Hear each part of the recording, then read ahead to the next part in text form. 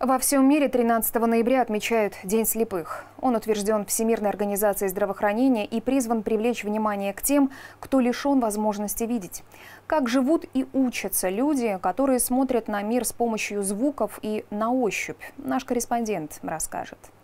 Я здоровье берегу, сам себе я помогу. Беречь здоровье в первую очередь зрение учеников Малаховской школы-интерната приучают с первого класса. В середине каждого урока гимнастика. Она помогает глазам отдохнуть. Не напрягать зрение во время учебы помогают и современные приборы. Видеоувеличитель позволяет приблизить даже самый мелкий текст. В старших классах, помимо изучения общеобразовательных предметов, ребята осваивают робототехнику. Также учатся читать книги с помощью специальной программы. Она озвучивает любой печатный текст. Она говорит и знаки препинания и прочее. Еще нужно расположить настолько ровно, как человек, походу, не способен сделать, э, чтобы э, он распознавал буквы, а не какие-нибудь цифры, иностранные буквы и прочее. Обучение в таких школах длится 12 лет. За это время ребята успевают освоить школьную программу, а тифлопедагоги и окулист с помощью медицинского оборудования и методик помогают скорректировать зрение. Это позволяет выпускникам поступать в любой вуз. Выпускница 12 класса у нас поступила в МГУНА, экономический факультет. Она была медалисткой, золотой медалью закончила школу. После 10 класса у нас поступили в медицинский колледж. Дети также поступили в Реутово, колледж.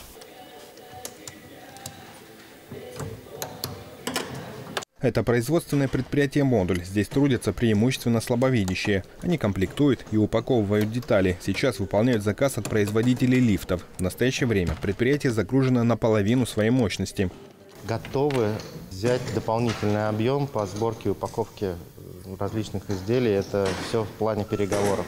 Значит, профиль предприятия – это сборка картонашных изделий, это сборка э, каких-то маленьких электрожгутов, сборка светоустановочных изделий. Плотно раньше работали с типографиями, плотно работали с кондитерскими фабриками по сборке подарочных наборов.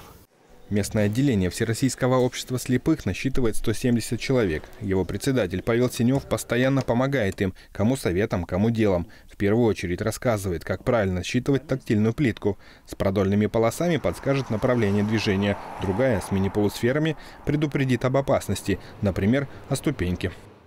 Слепые пользуются не только тактильными обозначениями на дорогах, но и навигатором. Есть э, приложение в смартфоны, по которым э, слабовидящие либо слепые пользуются как навигатором. Там буквально до, э, до того, что там тут ступени, там подъем и так далее, так далее, так далее.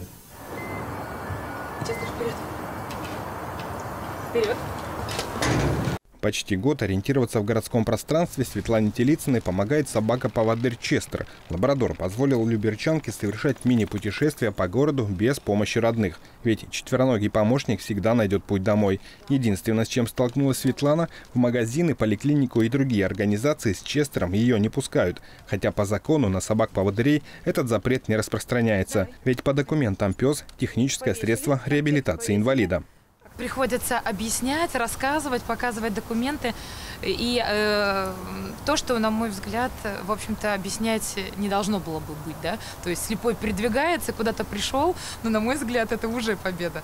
Но нет, да, нас очень много не пускают, или же приходится пройти сначала процедуры через главного администратора, а потом уже нам рады, в общем-то, в этих же магазинах последние годы в Люберцах много сделано для безопасного передвижения по городу, особенно для людей с ограниченными возможностями здоровья. При реконструкции тротуаров укладывают тактильную плитку, устанавливают перильное ограждение и светофоры со звуком. В будущем работа в этом направлении продолжится. Григорий Ворванин, Сергей Гвоздев, Денис Заугольников, телеканал ЛРТ.